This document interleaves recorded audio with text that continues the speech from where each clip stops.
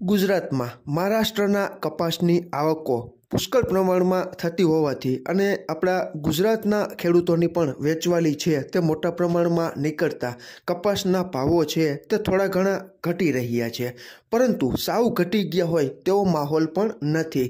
ખેડૂતોમાં એક ડરનો માહોલ અત્યારે જોવા મળી રહ્યો છે અને ઘણા બધા અનુભવી જાણકાર ખેડૂત મિત્રોએ અમને જણાવ્યું હતું કે પ્રાસરાભાઈ અત્યારે લગ્નગાળાની સિઝન હોય, ખેડૂતોને પૈસાની જરૂરિયાત હોય, પોતાનો માલ છે તે વેચવા માટે ઘણા બધા ઢગલાઓ છે, તે ખડકી રહ્યા છે.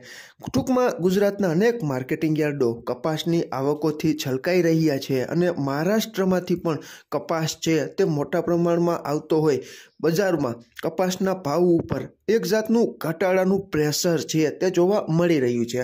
ઘાસડીઓના ભાવમાં પણ મોટી વધઘટ છે તે નથી.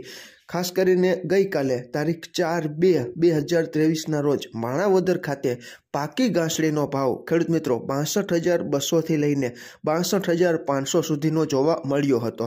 તો અમારા અનુભવ પ્રમાણે બાબરા માર્કેટયાર્ડમાં કપાસના સૌથી ઊંચા ભાવ સત્તરસો ને પાંત્રીસની આસપાસ પણ બોલાણા હતા. ટૂંકમાં સારો કપાસ છે તેવા ખેડૂત મિત્રોને સોળસો પચાસથી લઈને સત્તરસો ને પંદર સુધીના ભાવો છે તે ગામડે બેઠા પણ ઘણા બધા વિસ્તારોમાં મળી રહ્યા છે. ખેડૂતોના હાથમાં ટૂંકમાં ભાવ છે તે થોડા ઘણા આપણે કહી શકીએ. કારણ કે થોડી ઘણી પકડ છે તે ખેડૂત મિત્રો કરે છે.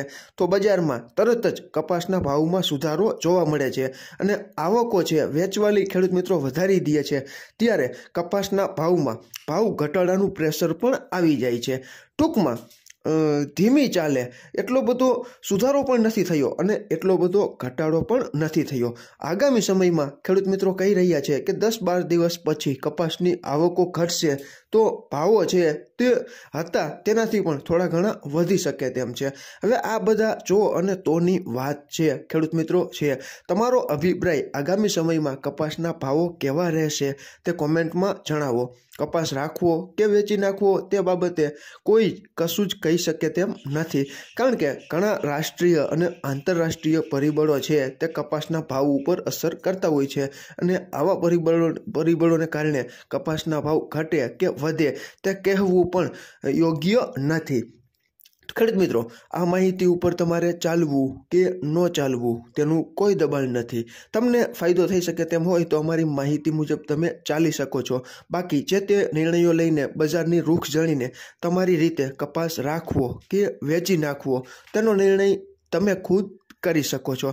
ખેડૂત મિત્રો, આ માહિતી તમને કેવી લાગી? જો સારી લાગી હોય તો આ વિડીયોને લાઇક કરી દેજો શેર કરી દેજો કોમેન્ટ કરી દેજો. ફરી જ મળશું નવી જ માહિતી લઈને નવા જ આવનારા વિડીયોમાં. ત્યાં સુધી આપ જોડાયેલા રહો. માહિતગાર બનો. આગળ વધો. આભાર ખેડૂત મિત્રો.